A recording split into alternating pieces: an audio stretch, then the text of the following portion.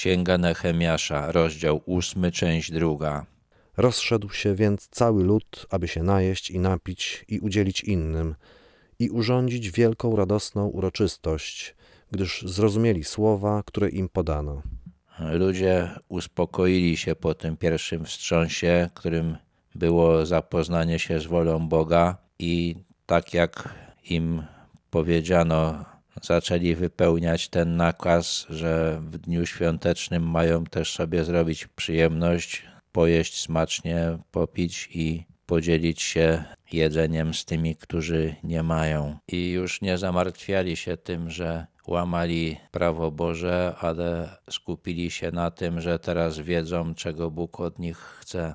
Następnego dnia zgromadzili się naczelnicy rodów, całego ludu oraz kapłanów i lewitów u Ezdrasza, pisarza, ażeby dokładnie poznać postanowienia zakonu. Następnego dnia Ezdrasz już nie przemawiał do całego ludu, ale do przywódców. Oni chcieli lepiej zrozumieć, co w tym Bożym prawie jest. Chcieli więcej wiedzieć, żeby dopasować życie narodu do woli Boga. I znaleźli przepis w zakonie, jaki Pan nadał przez Mojżesza, że w czasie święta w siódmym miesiącu synowie izraelscy mają mieszkać w szałasach i że należy ogłosić i obwołać po wszystkich ich miastach i w Jeruzalemie.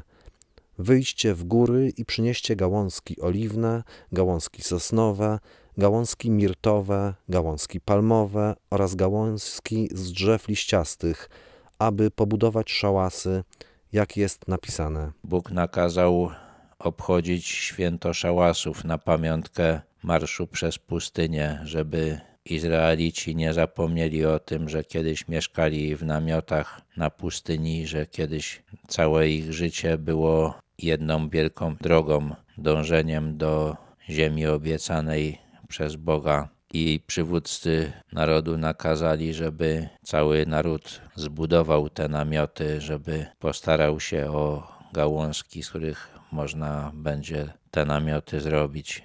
Wyszedł więc lud i przyniósł i pobudowali sobie wszyscy szałasy, czy to na dachu, czy na swoich podwórzach, a także na dziedzińcach domu Bożego i na placu przy bramie wodnej, i na placu przy bramie efraimskiej. Ludzie posłuchali tego nakazu, przynieśli gałązki, no i pobudowali sobie te szałasy i od tego czasu już ten nakaz wypełniali. Całe tedy zgromadzenie, wszyscy, którzy powrócili z niewoli, pobudowali sobie szałasy i mieszkali w szałasach, czegoż synowie izraelscy nie zrobili od czasów Jozłego, syna Nuna, aż do tego dnia. To też zapanowała bardzo wielka radość.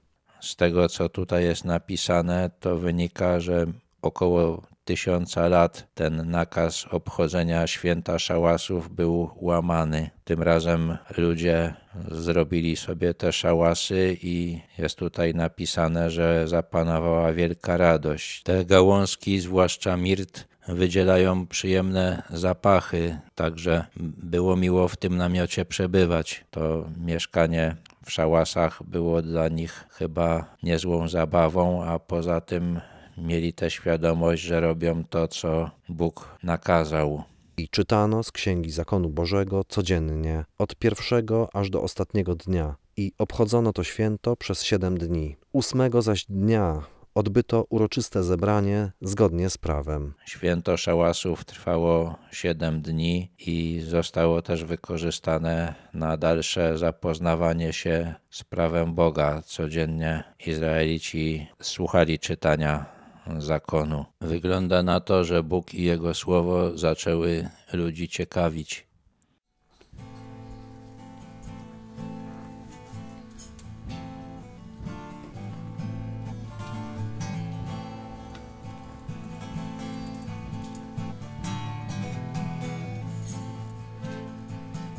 Jak wspaniałe są wszystkie Twoje dzieła, Panie Boże Wszechwładny. Wierne są Twe drogi, sprawiedliwy Boże, wielki Królu narodów, któż by nie uczcił Ciebie, jesteś godzien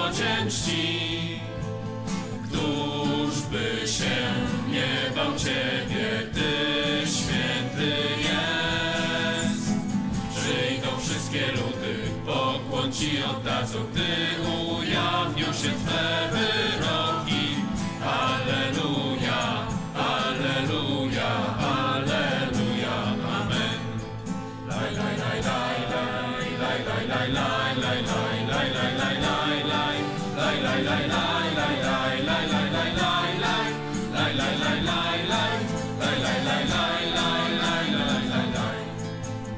laj. Jak wspaniałe są wszystkie Twoje dzieła, Panie Boże Wszechwładny. Wierne są Twe drogi, sprawiedliwy Boże, wielki Królu narodów, któż by nie uczcił Ciebie, jesteś godzien czci. Któż by się nie bał Ciebie, Ty święty wszystkie ludy, pokłon Ci oddadzą, gdy ujawnią się Twe wyroki. Alleluja, Alleluja, Alleluja, Amen.